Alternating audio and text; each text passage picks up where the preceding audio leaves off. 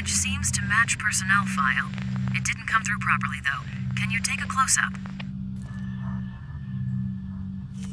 What we have here is a photo taken moments before disaster. Processing image.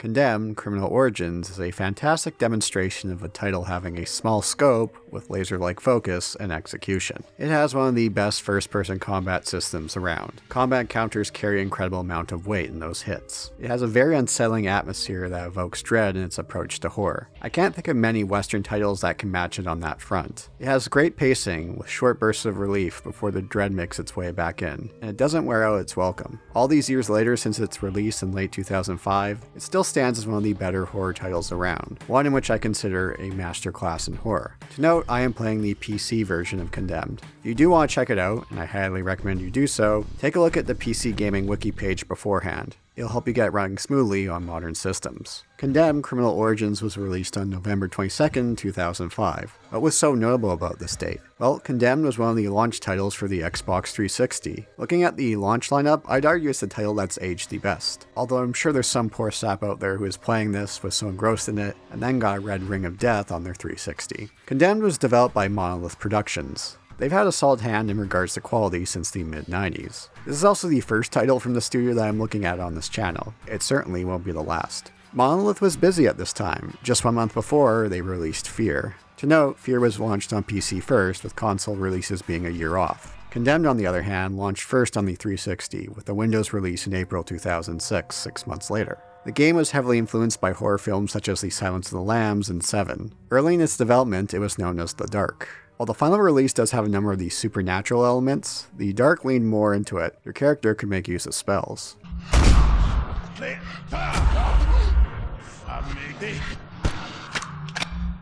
The concept for Condemned was thought by Jace Hall, listed here as Jason Hall, and Nathan Hendrickson. I'm sure you remember Jace Hall for his various videos in the late 2000s and early 2010s. For example, I Play WoW or The Jace Hall Show. I most associate him with getting choked out by John Carmack. Circling the neck, getting a little bit of leverage here, and then squeezing like that. And at that point, the smart competitors will tap. You know, just tap when you're, you know, when you don't want to. You know, just tap. Uh, are you okay?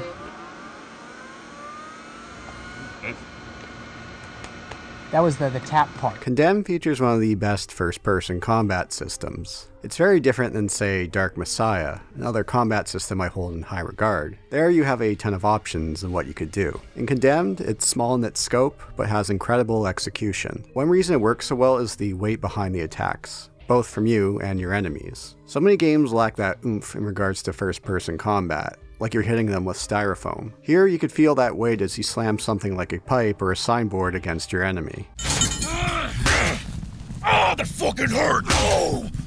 You could block at the right time for a parry. You could change your swing depending on what direction you hit as you swing. You can also kick. You'll grab various weapons from your surroundings. It's quick to see which weapons you may swap with will change in regards to stats. Some will have longer block intervals and faster hits, while others will be slower but pack more of a punch. You could use the taser for some crowd control and take a weapon out of enemy hands. Depending on how you take down your opponents, you'll have some options available for you for that finishing blow, and these just feel brutal.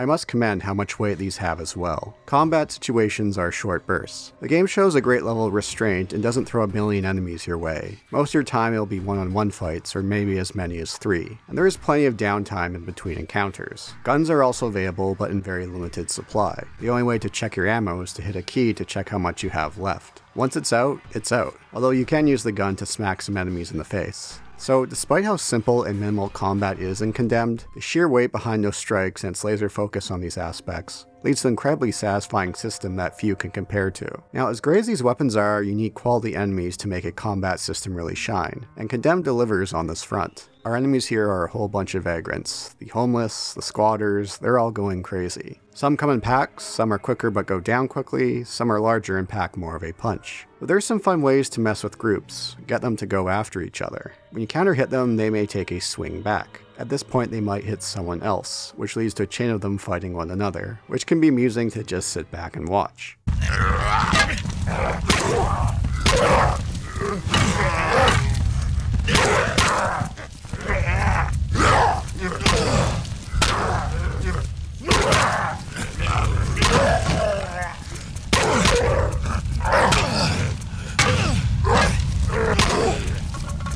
Another monolith released around the same time frame, Fear, is well regarded to this day for its AI. Condemned seems to be overlooked, but it's no slouch either. The way enemies will move around the background, coming from different directions. It's not like they sneak up on you, you'll hear them. They don't always just make a straight beeline for you. Now, there is also the movement, which takes a bit to get used to. It has the classic issue of sprinting for about 3 seconds before you're all puckered out. Movement over various surfaces will also slow our character down. It does take a bit of time to get used to, but it's not a huge detriment by any stretch. You also can't jump. There were a few cases where I wanted to yell at Ethan to just jump so we can make our trip that much quicker. Overall, combat comes in a simple but focused package to create something that's brutal and blends so well with the rest of what the game is going for. Being an FBI agent, there are investigation elements of the game. It's not like LA Noire where we can pick up various objects to spin around. Once we get in range, the screen will change and notify us that it's investigation time.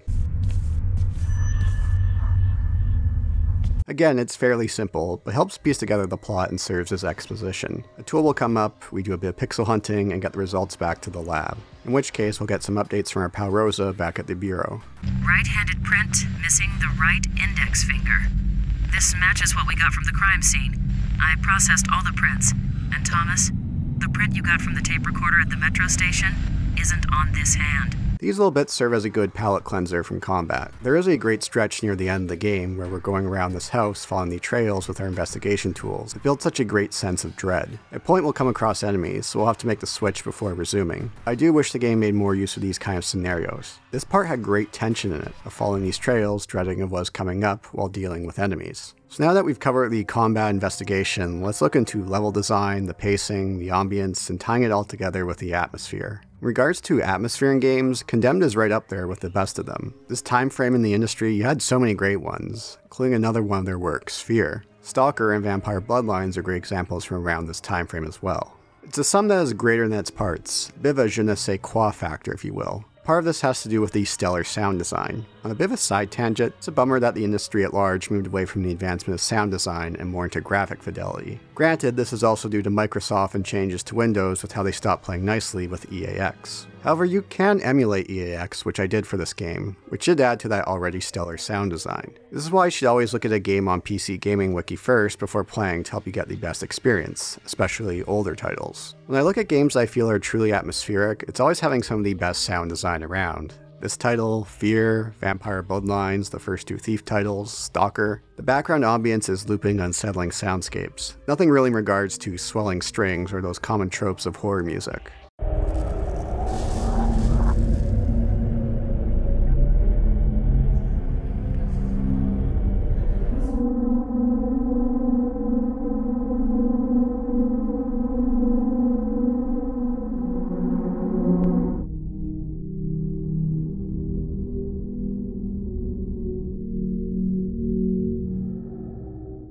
That note, the main menu music gives more of that investigation vibe to it, a stark contrast from the rest of the game, although it is still quite fitting.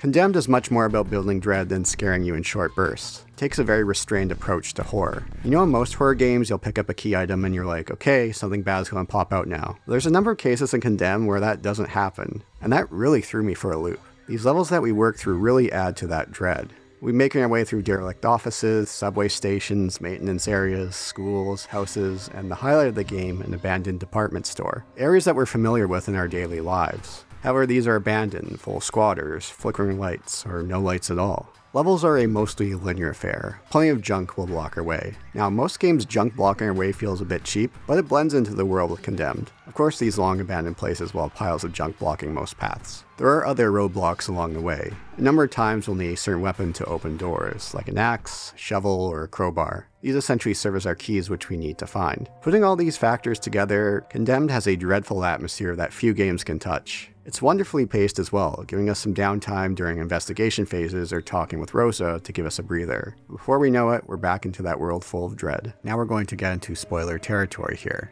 I'll briefly cover the plot and some of the game's highlights. It's mostly a game of cat and mouse with a serial killer, although it does fall apart at the end with bringing in more supernatural elements. This is something that would only get more wacky in the sequel. In Condemned, we're playing as SCU agent Ethan Thomas. He's voiced by Greg Grunberg. I most associate him with Matt Parkman in Heroes, the guy who is always getting knocked out. What starts off with investigating a crime scene, we end up running into a serial killer who gets the drop on us through cutscene incompetence. We're framed with the killing of two police officers that he carried out. Drop the weapon now! Be ready for death, Agent Thomas. It shall come visiting again.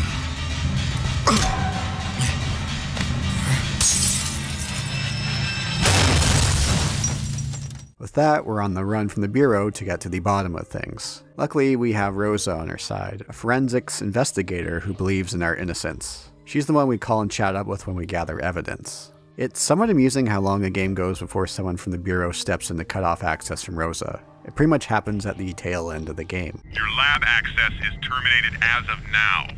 Taxpayers wouldn't like you using resources when you're officially on suspension. Farrell, listen to me.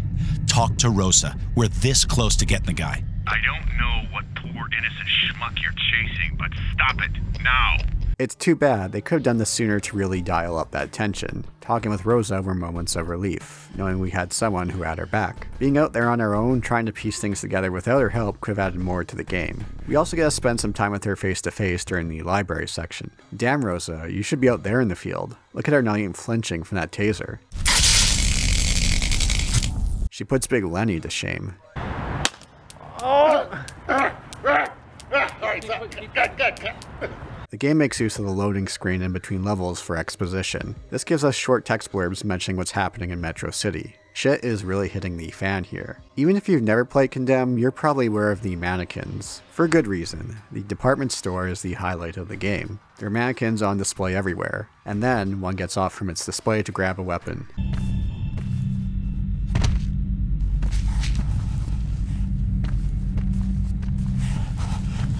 It's a very nonchalant introduction. There's no string swells, the game doesn't really draw our attention to it. It's not a jump scare. It's very much a oh shit moment. In regards to jump scares, I think there's about less than a handful. Of course, I started this video with the most known jump scare from the game. There's also this bit in the level with the stationary mannequins following us. That will really throw you for a loop.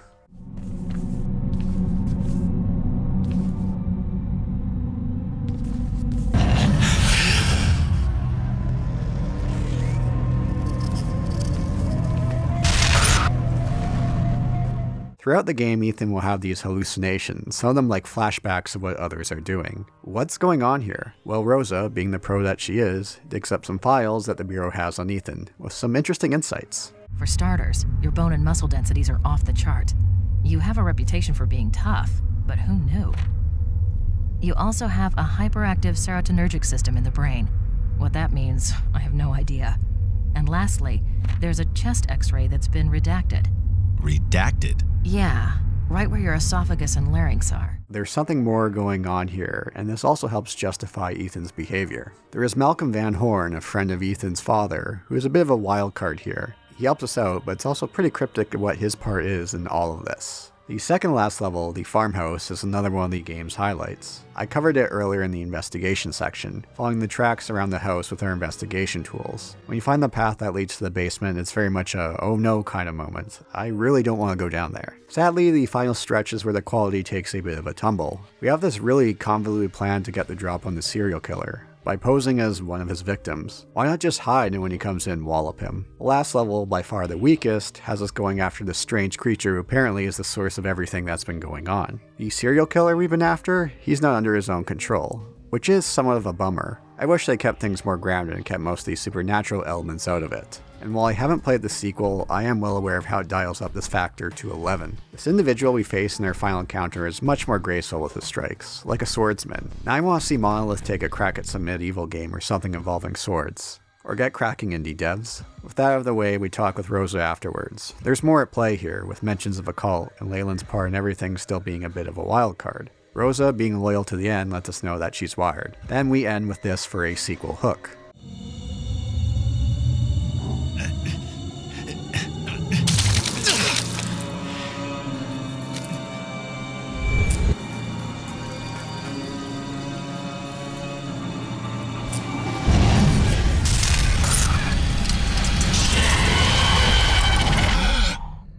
Too bad that the game stumbles at the end, because everything up to it was quality. Not that the last level is a stinker, but does fall short of everything before it. I do wonder how different things would have played out had they kept these supernatural elements at bay. It does take away some agency from the serial killer. As well, if they brought up sooner, that's okay, but it's really brought up late into the fold. Now, I haven't played the sequel, and I do plan on covering it, so I'm curious to see how things go off the rails. I am aware of its reputation in regards to its plot.